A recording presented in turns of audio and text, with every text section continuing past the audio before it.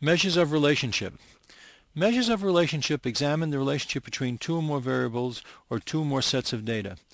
They are used extensively in correlational research. Examples of descriptions of relationships are Generally, there is a high positive relationship or correlation between parents' education and academic achievement.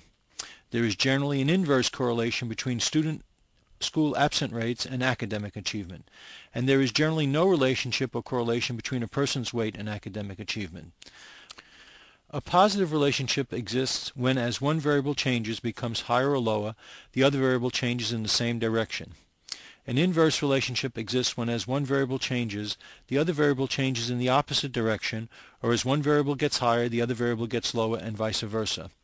Some forms of these measure, measures, such as a linear regression, can be used to develop prediction models for such things as success in college related to high school performance. A fundamental tenet of correlational analysis is not to assume that in a relationship, a change in one variable causes a change in another. Correlation studies focus on relationships and not necessarily cause and effect. However, depending upon the variables being analyzed, a high correlation might indicate a cause and effect relationship. The correlation coefficient.